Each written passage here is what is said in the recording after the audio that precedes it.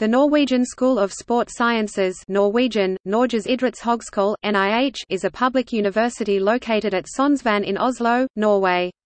It has the national responsibility for education and research related within sport sciences. It provides education at the bachelor, master and doctorate levels.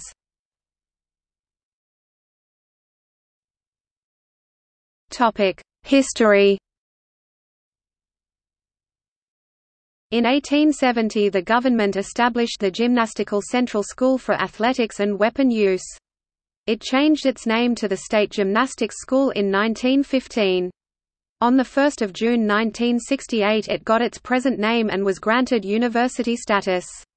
The first master student was educated in 1973 and the first PhD awarded in 1990.